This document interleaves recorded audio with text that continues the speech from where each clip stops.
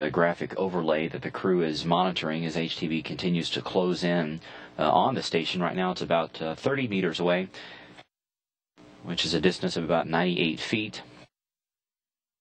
It is at a hold point right now for about the next uh, six and a half minutes. And once the go is given, that is when HTV will continue to close in to a point of about 10 meters or 33 feet.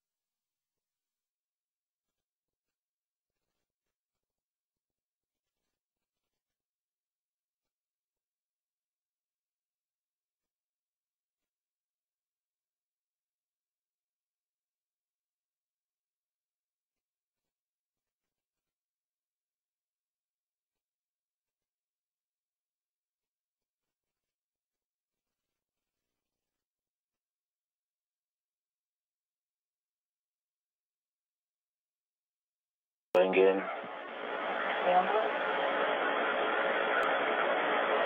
Over the pin.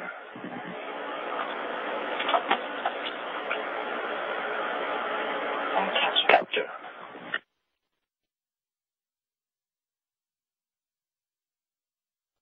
Capture goes blue. Capture of the Japanese HTV cargo craft confirmed at 5:41 a.m. Central Time.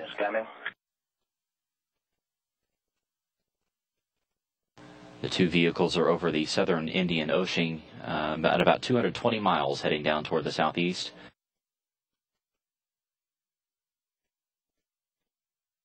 Tension is 5,300. Position hold.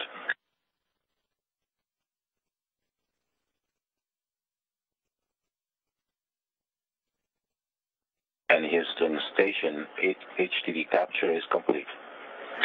Great job, you guys, Paolo, Cady, and Scott, on the uh, morning's work. Congratulations to all of you, and congratulations to the HTV flight control team. Great work today.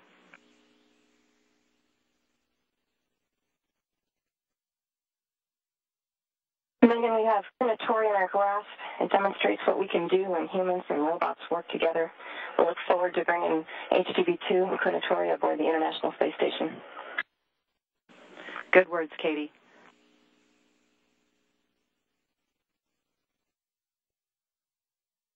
And there is our first live view of the HTV captured by the station's robotic arm. Right now, the two spacecraft are uh, to the south of Australia, about to head toward the northeast over the Pacific Ocean. They are uh, heading into orbital night, the sun uh, beginning to set.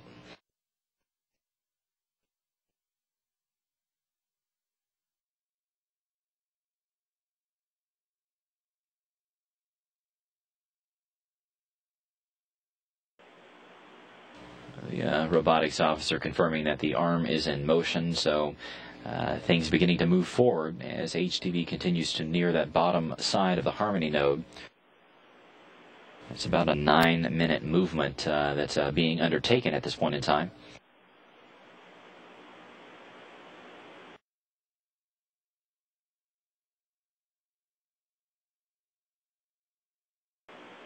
The Expedition 26 crew continuing to move the Japanese HTV cargo craft inch by inch toward the International Space Station. This is a very slow process. They will uh, verify that everything is lined up according to plan. And the mission control team here in Houston is uh, watching over the progress.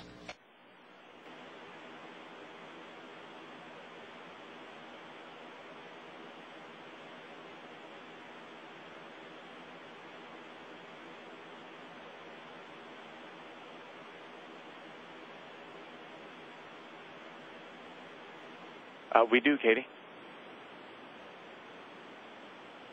In the center, we see one. Uh, we see actually two red circles, and they're not concentric.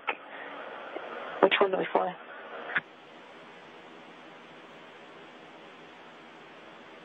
Yeah, we're seeing the same thing here, Cady, and we're talking about it.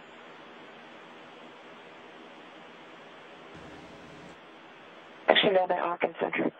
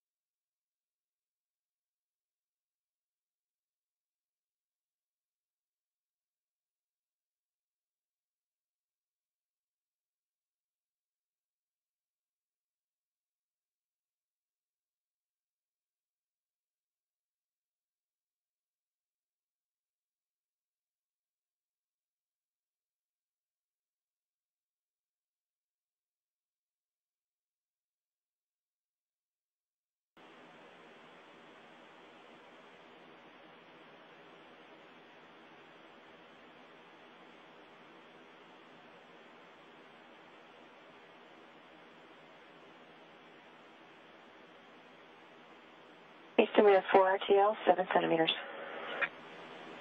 Great job, and we see the same down here. Cady Coleman confirming that uh, the crew sees four good, what are known as RTLs. These are ready to latch indicators. This basically means that HTV is in the proper position and uh, the crew should be uh, proceeding toward securing the bolts here uh, shortly. Coleman had called down to the crew here and uh, the team here in Houston, uh, talking about those two circles you see in the middle, that they were not concentric to one another. The team here in Houston believed that uh, one of those is a reflection actually off of the end of HTV's uh, hatchway. And that the crew could basically just disregard that and take a look at the uh, red chevrons, which were in view uh, just a few minutes ago as HTV closed in.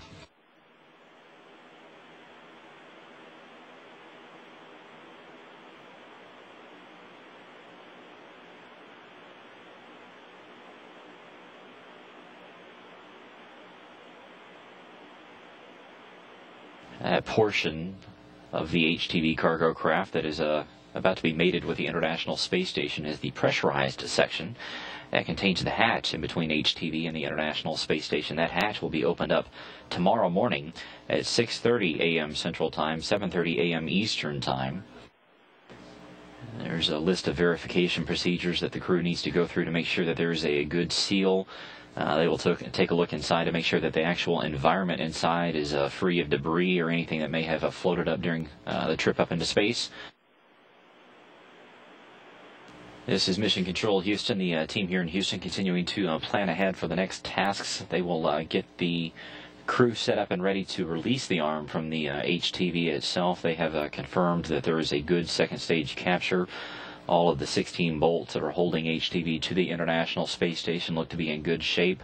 See, the official berthing time is 8:51 a.m. Central Time. About three minutes ago, 8:51 a.m. Central Time, 9:51 a.m. Eastern Time.